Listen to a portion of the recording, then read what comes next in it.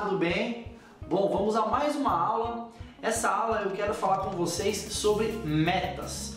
É uma aula é, onde eu aproveito para responder muitas perguntas que são enviadas para mim via YouTube, onde eu consigo fazer um conjunto, um apanhado de informações importantes e passar para você aqui dentro do curso Aposta de Valor. É...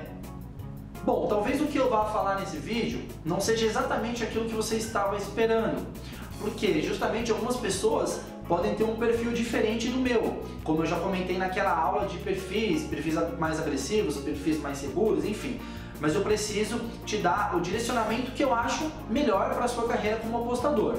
Então vamos lá. É, na nossa vida, muitas, muitas coisas são traçadas como metas, né? Então, por exemplo, até para usar uma analogia, quando você quer ser um engenheiro, você tem uma meta, você precisa estudar alguns anos e aí você precisa aprender determinadas coisas, se formar um engenheiro depois você muito provavelmente vai ter que é, começar de baixo, com um emprego menor, uh, para depois você poder galgar maiores degraus, até que você se estabilize no seu negócio e se torne um engenheiro e vai buscar aí uh, um maior número de clientes, reconhecimento, etc. Então essa, essa seria uma das metas profissionais para esse caso. Uh, uma, uma outra coisa que a gente tem que diferenciar do que é meta e do que é meta de resultados, que é justamente o tema desse vídeo. A, o, o, apostador profissional, ele perfeitamente tem que ter uma meta, tá? E o que, o que, eu quero dizer com isso? Com isso, muita gente que está fazendo curso aposta de valor já está uh, cumprindo uma, da, uma das suas metas. O porquê? É, eu, sei, eu conheço muitos dos nomes que estão nesse, nessa turma e de várias outras, porque comentam nos vídeos, fala Danilão, eu não consegui me inscrever na turma passada, mas cara, eu, vou, eu tô guardando dinheiro e vou me inscrever nessa próxima turma justamente porque a minha meta é ser um apostador profissional. Então, esse tipo de, de paralelo, onde eu tracei com, com engenheiro, poderia ser com médico, com advogado, ele também serve para um apostador, ou seja, você pode ter as suas metas. Bom, em 2018 é, eu vou me formar um, um, apostador dentro do curso Aposta de Valor. Em 2019 eu espero ter já meu blog aberto bombando. Quem sabe em 2020 eu já esteja trabalhando para um sindicato, tenha minha própria banca. Então, essas metas eu acho super importantes e eu acho que, que todo mundo tem que ter, tá?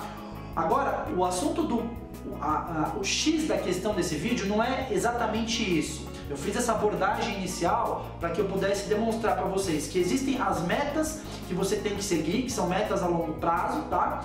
Ou, ou, até poderiam ser metas a curto prazo também, né? Quando a gente fala de meta, não tem nenhum problema de olhar também para o curto prazo, mas o que eu quero definitivamente é, colocar na sua cabeça é que as metas elas não podem estar ligadas a resultados no curto prazo, tá? Quando você fala de projetos no curto prazo, de estudar e tal, não tem problema nenhum. Quando você fala de números no curto prazo, isso tem que ser abolido do seu vocabulário e eu vou trazer uns exemplos para você entender exatamente o que, que, eu quero dizer com isso. Então, por exemplo, uh, eu, Danilo Pereira, tá? Quando uma pessoa, quando uma pessoa quer contratar meu serviço de Pix e fala assim para mim, Danilo, uh, qual que é a sua meta para o serviço de Pix? E aí eu já, eu já logo falo mais ou menos assim, cara, para 2018 ou para 2019 ou para 2020, ou seja, no ano que eu estou, a minha meta é mais ou menos chegar na quantidade média de unidades ganhas que eu tenho ganho nos últimos anos. Então, por exemplo, a minha meta para 2018 é alcançar mais ou menos 70, 80 unidades ganhas durante o ano de 2018 se eu conseguir um pouco mais, eu vou passar na minha meta, e se eu conseguir um pouco menos, eu também vou ficar muito satisfeito, tá? Mas repara, nenhum momento aqui eu falei que a minha meta para este mês, a minha meta para o próximo mês é X e é Y. E eu recebo muitas perguntas desse tipo, Danilo, por exemplo, agora nós estamos em março. Danilo, em março, qual a sua meta? Cara, não tenho meta em março. Não tenho nenhuma meta em março. A minha meta em março é trabalhar como eu sempre trabalhei, para que no final do ano, no final do ciclo, no final da minha temporada, eu possa colher os frutos. E por que, que eu estou falando isso? Muita gente que vem do trade costuma trabalhar com metas curtas. O que são essas metas curtas? É, e, enfim, isso é completamente pessoal, eu não concordo, tá? E essa é a minha visão. É, por exemplo, você tem que fazer três unidades ganhas por dia. é, você tem que fazer o scalping, enfim, de ganhar tantas unidades naquele jogo. E isso eu acho uma, desculpa a palavra, uma besteira, né? Eu, eu, quando eu olho para o longo prazo, eu não posso traçar metas a curto prazo, tá? as minhas metas, elas têm que ser a longo prazo. O porquê disso? Tudo isso que eu estou falando para você, ele tem um apoio, tem um, tem um apoio técnico e um, um, um apoio psico, psicológico por trás. A primeira coisa, quando você trava metas diárias, você ou mensais, você vai fatalmente entrar num problema que é se cobrar muito para ter determinado resultado no curto prazo. Então, por exemplo, eu estou no dia 10 de março e a minha meta é ter 5 unidades em março, tá bom? Digamos que eu esteja menos duas unidades nesse mês, eu esteja negativo, tá? Eu vou começar automaticamente a ver valor aonde não tem, eu vou automaticamente, isso, isso qualquer ser humano vai fazer isso, de buscar entradas que não deveriam ser feitas se você não tivesse uma meta. Então, você precisa ser frio com os números. Cara, se você está menos 2, menos 3, menos 5, menos 10, nada tem que mudar na análise do seu jogo. E aí, é por isso que eu acho que meta a curto prazo é uma completa besteira, porque me, me respondam vocês que estão assistindo esse vídeo. O que, que muda é, em termos qualitativos eu fazer uma aposta com meta ou sem meta? Quando eu tenho uma meta de, de reverter esse meu negativo nesse exemplo, é por isso que eu consigo analisar melhor o jogo? Claro que não. Será que por que, que eu tenho que bater hum, mais 5 unidades ganhas no final de abril?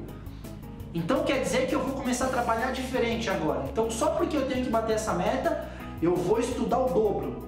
Não, eu, eu tenho que estudar porque eu tenho que estudar, e não porque eu tenho uma meta para ser batida. É, é isso que eu quero colocar na cabeça de vocês. E o valor inverso, ele é muito maior do que o valor positivo.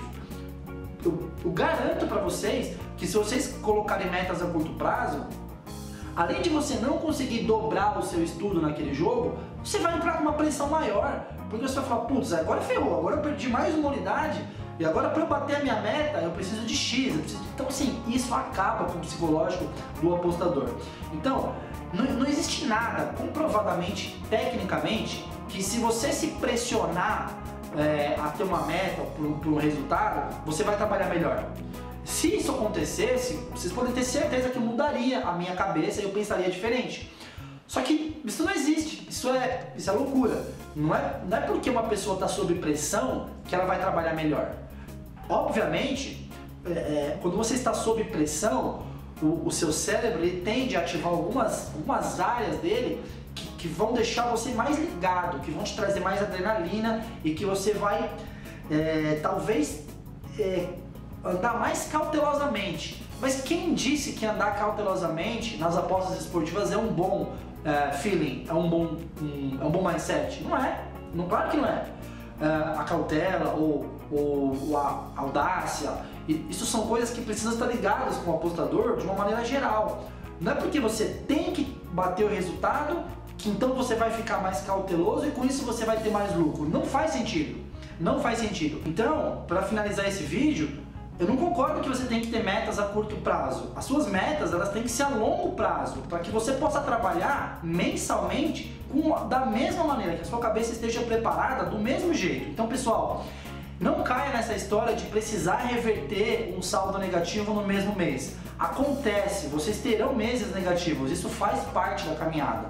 Mas quando você tiver um mês negativo, fatalmente você vai tendo lá na frente meses positivos que compensam os meses negativos. Então, uma dica: não coloquem metas em resultados a curto prazo.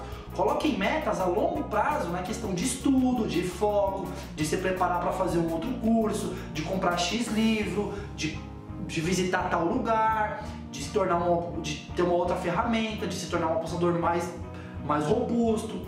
Isso sim vai te ajudar. Fuja das metas a resultados de curto prazo, tanto para vocês quanto para possíveis clientes que vocês tenham, tá legal? Essa é a dica dessa aula, isso me ajuda muito e eu espero que vocês possam ter compreendido. Qualquer dúvida, deixa aí no comentário que eu faço questão de responder. Valeu, um forte abraço e até a próxima aula.